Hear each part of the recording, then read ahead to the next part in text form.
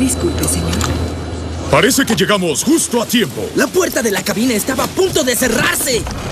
Parece que no estás aquí, en esta fila. Esperen un minuto. Algo no está bien. Tiene razón. Estos números de asiento de aquí, aquí y allí se leen de derecha a izquierda. Ten cuidado. Cuidado con mis alas. A juzgar por este pasaje, diría que va a ser un vuelo muy largo. Qué bueno que traje un libro bastante largo. Tiene razón. Y esta revista de avión no es competencia para un libro largo. Tenemos que ir a esa librería de libros largos. Y el avión está comenzando a moverse. ¡Y rápido! Esto es un trabajo Señor, para... tiene que permanecer en su asiento mientras el avión se esté moviendo. Y por favor, hable en voz baja. Gracias. Enderece su asiento. ¡Ay, sí! Hay que volar en aviones comerciales. Es más divertido.